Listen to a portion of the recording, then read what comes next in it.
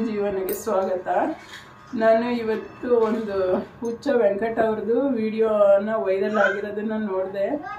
ಆ ಮನುಷ್ಯ ಯಾವಾಗೂ ಕೂಗಾಡ್ಕೊಂಡು, ಒಂಥರ ಕೋಪ ಮಾಡ್ಕೊಂಡು ಎಲ್ಲರ ಮೇಲೂ ಚೆನ್ನಾಗಿ ಓಡಾಡ್ತಾ ಇದ್ದೆ ಅಂದರೆ ಅವ್ನು ಕೆಟ್ಟ ಮಾತು ಉಪಯೋಗಿಸ್ತಾ ಚೆನ್ನಾಗಿದೆ ಅಂತ ಹೇಳ್ತಾ ಇಲ್ಲ ನಾನು.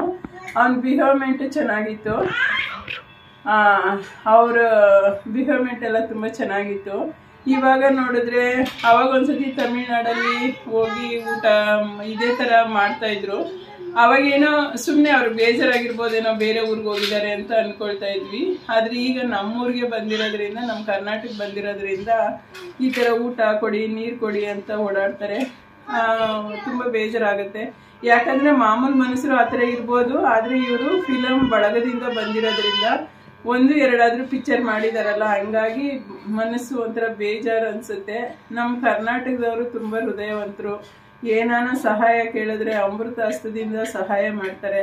ಹಂಗಾಗಿ ಅವ್ರನ್ನ ಮಾನಸಿಕ ಸಮಸ್ಯೆ ಇದೆಯಾ, ಅಥವಾ ಏನು, ಇಲ್ಲೇ ಅವರು ಇಲ್ಲಿಗೆ ಬಂದಿರೋದ್ರಿಂದ ಅವ್ರ ಮನೆಯವ್ರನ್ನಾದ್ರೂ ಹುಡುಕಿ ಅವ್ರ ಮನೆಗಾದ್ರೂ ಸೇರಿಸ್ಬೋದು. ಅಥವಾ ಒಂದು ಹಾಸ್ಪಿಟ್ಲಿಗೆ ಸೇರ್ಸೋದ. ಫಸ್ಟ್ ಎಲ್ಲ ಹೇಳ್ತಾ ಇದ್ರು ನನ್ನ ಹುಡುಗಿ ಮೋಸ ಮಾಡಿದ್ಲು.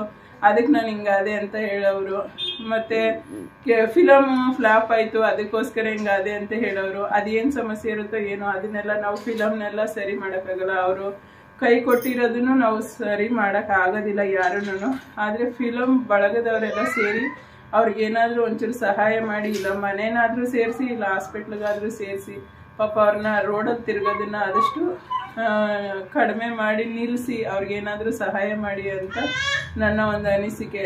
ತುಂಬ ಬೇಸರ ಆಯಿತು ನನಗೆ.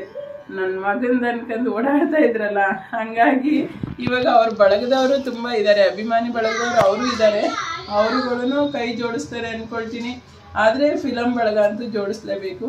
ಹಂಗಾಗಿ ನಾನು ಇದೊಂದನ್ನು ಕೇಳ್ಕೊಳ್ತಾ ಇದ್ದೀನಿ ಫ್ರೆಂಡ್ಸ್ ನಮಸ್ಕಾರ. ವಿಡಿಯೋ ನೋಡಿದ್ದಕ್ಕೆ ಧನ್ಯವಾದಗಳು ಫ್ರೆಂಡ್ಸ್ ಅಕಸ್ಮಾತ್ ನನ್ನ ಮಾತಲ್ಲಿ ಏನಾದರೂ ತಪ್ಪಿದ್ರೆ ದಯವಿಟ್ಟು ಕ್ಷಮಿಸಿ.